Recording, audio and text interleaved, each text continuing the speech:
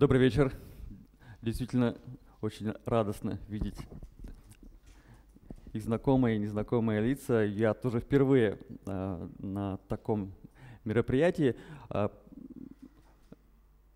Тед сегодня говорит о поиске себя. Я решил рассказать, как не потерять себя в огромном количестве информации. Ну, перед тем, как начать, хотелось бы а, вам признаться, что несколько лет назад, лет 10, я совершил небольшую ошибку э, в своей жизни. Э, я полностью себя оградил от информации. Я удалился из социальных сетей, я открыл бар, в который приходили люди э, только по телефонному звонку. И всю информацию извне я получал только через вот эти вот небольшое количество гостей этого бара и, соответственно, закупорил себя в некий пузырь. Но когда мы отрезаем себя от внешнего пространства условно, то все мысли направлены, разумеется, внутрь. Таким образом, я для себя все-таки совершил некий челлендж и считаю, что на данный момент себя я нашел. Потом, впоследствии, мне пришлось восстанавливать социальные сети, и спустя 4 года, время которое меня там не было, вот от этого всего, разумеется, я был совершенно отстранен. И когда же я туда ворвался, огромным потоком на меня полились различные обновления, фейки, новости, постправда, вот весь этот спектр огромного количества информации. И что же, каким образом защитить себя от такого количества различных вбросов? Я разделил на две части. Первое – это все-таки защита от этого э, внешнего потока информации. Это раз, раз, различные новости, блоги, ну, внешне, то, что вас касается. И не быть в заложниках своего пузыря, в котором, я ранее сказал, оказался я. Это так что же нас, каким образом защититься от, потоки, от потока информации? Возможно, кому-то из вас, ну, наверное, даже большинству, известно такое магическое число, как 7 плюс-минус 2. Это количество информации, которое человек, э, мозг человека может э, в краткий срок усвоить. Все, что превышает это количество информации, проникает мимо мозга моментально в подсознание – это то, как происходит автом... и потребление информации происходит автоматически, необдуманное.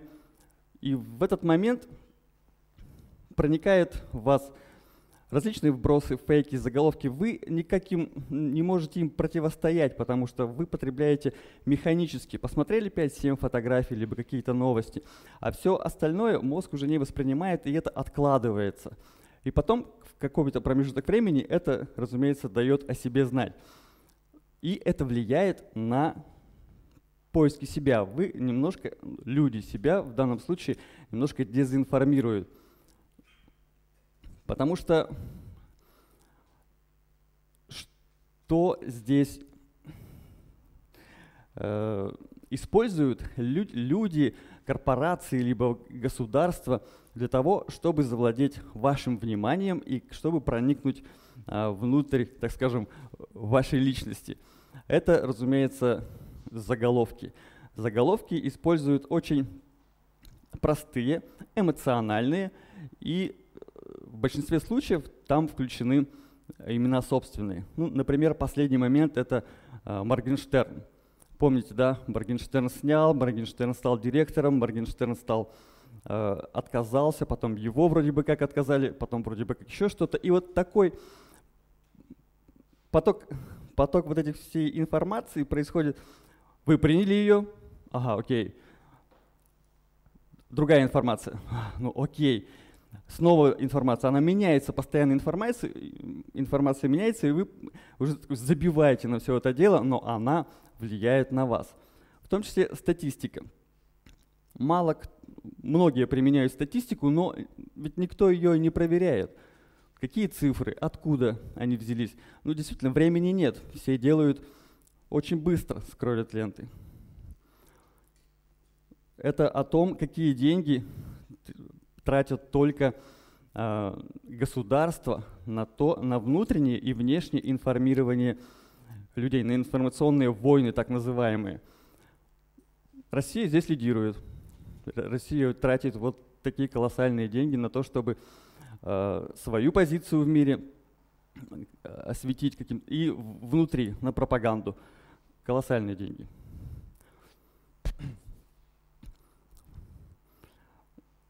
Это журналист русский BBC. А, я все-таки взял несколько цитат, которые мне очень нравятся, которые отражают всю действительность. Постоянный вот такой поток информации и, как мы про Моргенштерна мы говорили, и, разумеется, ее развенчивание вызывает у людей информационную апатию, которая, в свою очередь, лишает возможности формулировать собственную точку зрения, ну и при этом все, все вытекающее. Предубеждение. Люди склонны искать информацию ту, которую они уже знают. Ну, так устроен мозг. И предпочитают простые объяснения и утверждения, хотя часто они не отражают важности всех, всех проблем. Вспомните, как вы выбираете друзей у себя в ленте. Наверняка по каким-то своим личным параметрам, по своим оценкам красив, некрасив, что он у себя публикует на стене, либо какой образ жизни он ведет. И таким образом вы расширяете свой круг людей, э, исходя из своих личных стереотипов. То есть погружаете себя во, во вселенную, свою личную вселенную информационного потока. И выбраться из него очень сложно. Это называется эхо камеры. Вы кричите, и выбраться из этой информации вы не можете. Вы видите то, что хотите увидеть, а не то, что можете увидеть. В этом нам еще помогают алгоритмы. Алгоритмы и поисковых систем, алгоритмы социальных сетей, они устроены таким образом, чтобы как бы обеспечить вам ну, простоту использования. Вы же хотите котиков, вы видите котиков. Вы же хотите смотреть на красивых, подтянутых людей, вы видите их. Соответственно, пузыри вроде бы облегчают вам то, что вам интересно, чтобы вы не тратили много времени на то, чтобы найти какую-то интересную для вас информацию. Один только Google использует порядка 57 точек, по которым он определяет, что вам будет интересно. Что за этим скрывается? Невозможность получить объективную информацию. Мы находимся, да, вот в таком в закрытой структуре, из которой вырваться очень сложно, если мы не будем применять как некое критическое мышление. А происходит это незаметно. Мы совершенно не замечаем. Вроде бы оно так и есть. Все, все же в порядке, все нормально. Я в Инстаграме, я в Фейсбуке. Все как всегда. Все хорошо, все замечательно. Но мы не видим из-за этого коридора, из этого пузыря другую, альтернативную информацию.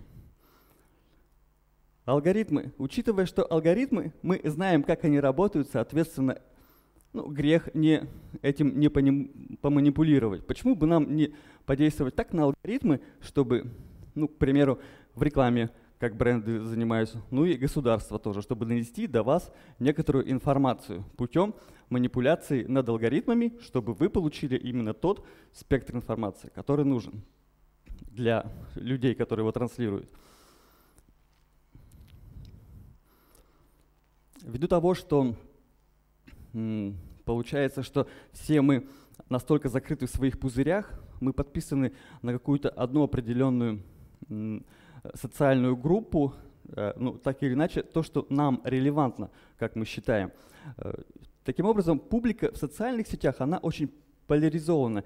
Из-за этого мы часто можем видеть в комментариях такой мощный холивар, где люди ссорятся, прям противоположные точки сталкиваются. Это все результат работы вот этих алгоритмов и наших личных алгоритмов. Мы не принимаем, не можем принять другую информацию, мы не знаем, откуда ее взять. Георгий Почепцов, замечательный философ, живет на Украине. Вот таким вот образом э, выразил распространение информационных различных, э, ну и атак, и вообще потока. Действительно стало намного меньше э, патентоваться неких патентов на патентоваться, патентов на новые изобретения, потому что народ, люди деградируют. Что же делать? Как быть? Как не потерять себя? Потому что мы вроде бы как бы и сами собой, но мы не видим некоторых альтернатив. Что же делать? 23 минуты. Это столько времени необходимо человеку, чтобы перезагрузить работу своей оперативной системы. То есть мы 23 минуты совершенно не пользуемся никаким потоком, который приходит в нас. Ни социальными сетями, ни радио, мы ни с кем не разговариваем. Если вам нужно творить, соответственно, перед тем, как начать, откладываем все куда-нибудь подальше от себя, все выключаем, 23 минуты. Вы можете помыть посуду, вы можете заняться любым другим каким-то динамическим, динамической медитацией, и 23 минуты вы перезагрузитесь и уже будете сами анализировать информацию и сами что-то делать, созидать. Боязнь, страх того, что вы что-то пропустите. Просто проэкспериментируйте, проэкспериментируйте, попробуйте. Мы постоянно руки тянутся, что-то где-то откуда-то получить информацию, она везде, отовсюду на нас льется. Не бойтесь, вы ничего не пропустите, совершенно ничего. Устраивайте детоксы, чтобы творить. И если вам попадается какая-то информация, кто-то вам ее говорит, либо вы ее где-то прочитали, либо вы услышали, задайте пять вопросов «почему?». Почему я это увидел? Почему это мне интересно? А может быть это и не интересно. Таким образом, вы включаете свою систему защиты, то есть свое, свой фильтр для того, чтобы оберечь себя от этой информации. Создавать, создавать и создавать. Абстрагироваться от всяческих внешних, внутреннего круга информации и созидать, даже чтобы даже ради созерцания, просто что-то создать. Ни в коем случае не ограничивайтесь в рамках интересов, чтобы пробить вот этот пузырь, в котором мы все находимся, информационно. Ищите новости сами. Если вас что-то заинтересовало, ищите сами. Где-то там, в Гугле, либо в Яндексе, неважно, в социальной сети, либо у кого-то спрашивайте. Личные встречи тоже никто не отменял. Разнообразивайте, разнообразьте круг общения, чтобы их людей было как можно больше, чтобы точек касаний, вариантов информации, варианты интерпретации было настолько много, чтобы вы могли из всего этого дела уже набраться сил, опыта, знаний, навыков для чего-то более существенного. Для этого нужно выйти из этого пузыря. Ну и, как говорит сегодняшний TED, найти себя, поиски себя. Я желаю вам найти себя и, конечно же, не потерять последствий.